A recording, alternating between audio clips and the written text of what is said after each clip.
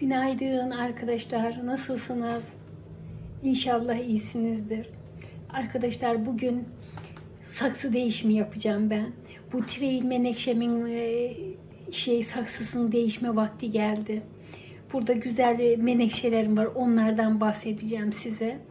Şimdi önce bir saksı değişimini yapalım.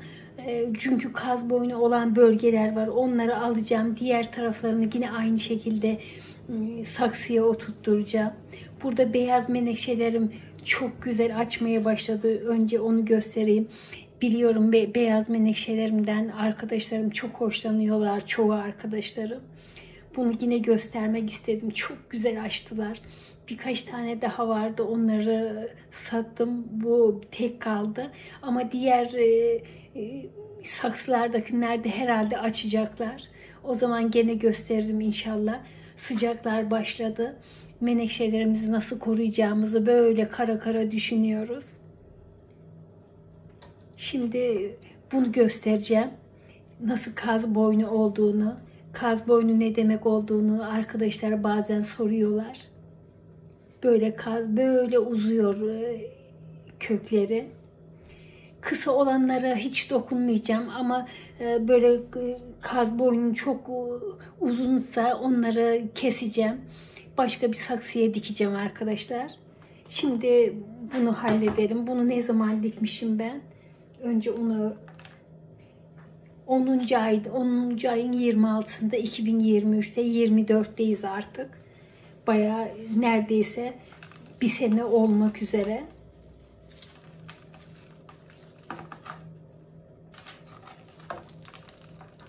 Bakın arkadaşlar saksıdan fazla toprak dökülmüyorsa bilin ki e, şeyiniz çok sağlıklı, menekşeniz çok sağlıklı. Görüyorsunuz. Şurada nasıl bir kaz boynu olduğunu, nasıl oluştuğunu şöyle göstersem daha iyi olacak zannediyorum. Şöyle bir bıçak alayım önce. Bunu buradan böyle keseceğim. Daha iyi kök salmasını e, sağlayacağız o zaman. Tabi bu fitili sulamadaydı arkadaşlar. Şu şöyle bakıldığında bunların hepsi artık o kadar uzamışlar ki ben bunları kesmek zorundayım hepsini. Diğer tarafında böyle saksıda bırakacağım kendi saksısında.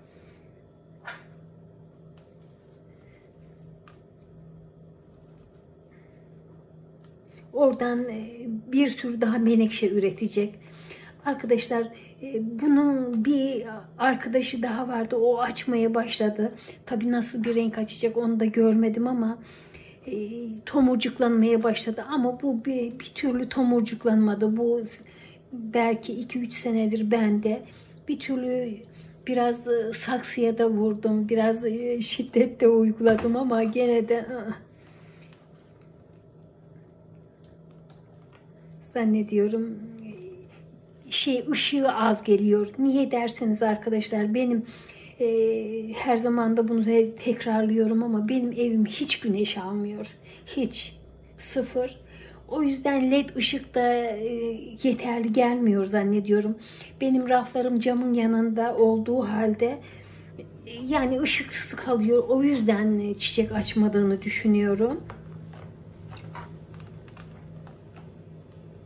Veya led ışığım yeterli gelmiyor. O da olabilir. Bakar mısınız bu köklere?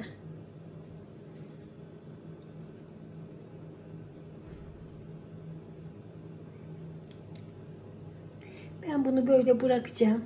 Burada tekrar köklenmesini sağlayacağım. Kestiğim şeyi de akabanına koydum. Burada şu ipini alayım. Burada köklendiği köklendiğinde bir sürü menekşem olacak yine. Yani kontrolden çıkmak üzereyim tekrar. Yani o kadar çok menekşem oldu ki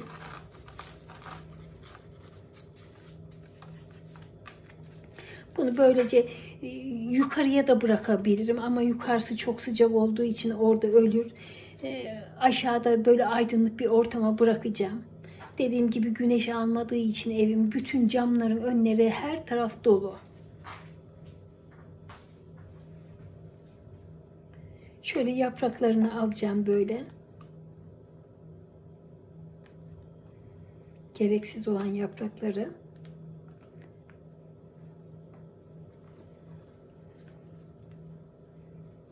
Burada çift bir kök var. Şöyle görüyorsunuz.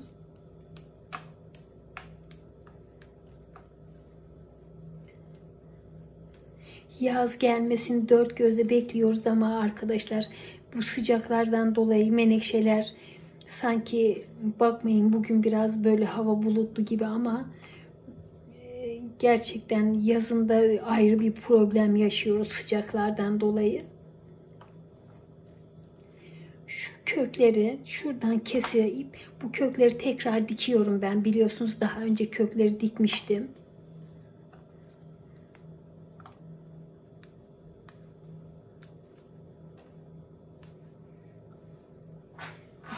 Alayım.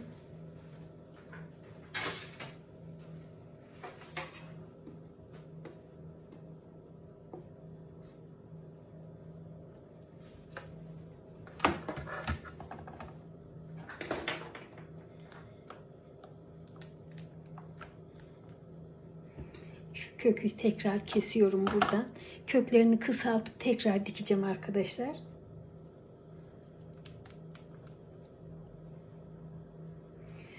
Kıvrılmış ışığı görebilmek için zannediyorum bunlar böyle.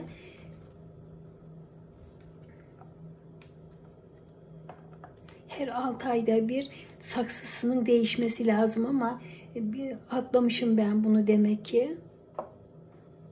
Bayağı bir sene olmak üzere saksısını değiştireli.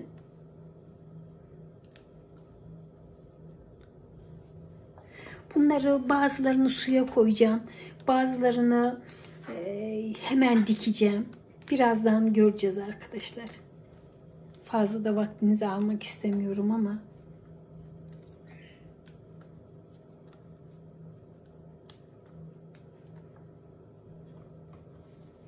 Bir sürü yine menekşem oldu. Sıcaklarda ölmezse ben bir şekilde bir yerde barındırıyorum o menekşelerimi.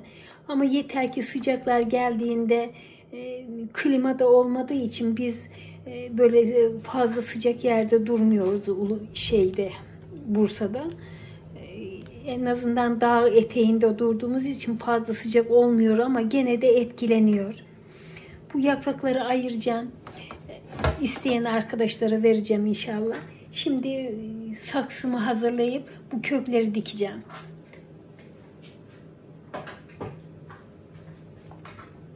Şöyle beyaz bir saksım var. Tarihinde atacağım buna.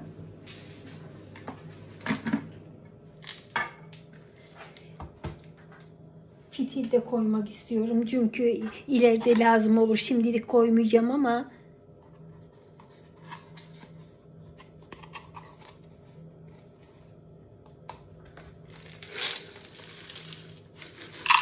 bolca taş koyuyorum tabanına.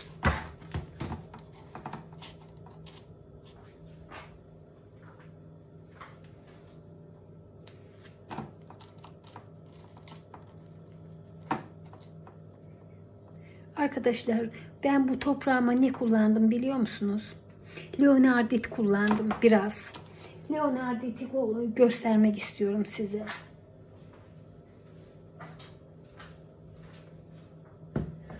Bu bir maden.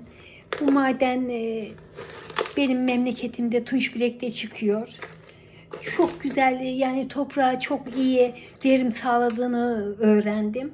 Bunu da kullanıyorum ara ara. Daha önce de kullanmıştım, gösterdim. Şöyle kömür kömür gibi bir şey.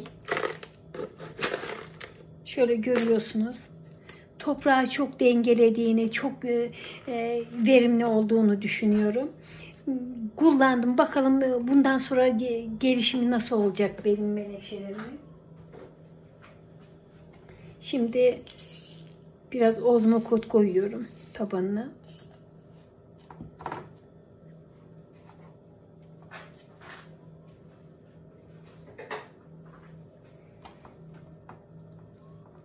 Kar atacağım ve seraya koyacağım bunu. Uzun süre e, şeye koymayacağım.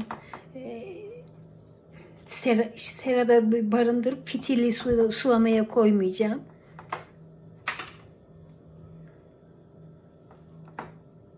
Aldığı kadar şimdi bunu dikeceğim. Bu saksının aldığı kadar.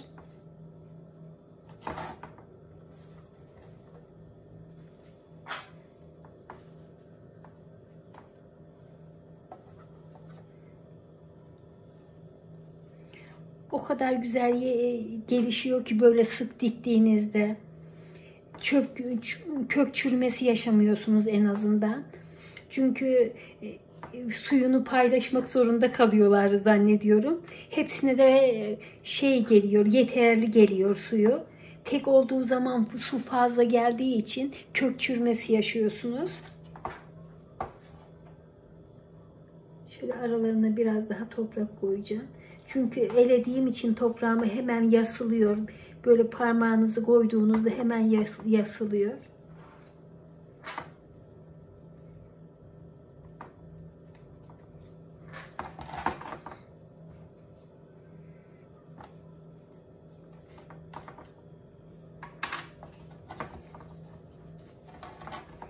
Çok az bir su vereceğim. Çünkü toprağım ıslak. Yeni hazırlamıştım toprağımı. Arkadaşlar beni izlediğiniz için ben size çok teşekkür ederim. Bu artanları da daha sonra başka bir kaba dikeceğim. Bu menekşemden arta kalanları. Tekrar görüşmek üzere arkadaşlar. Hoşça kalın.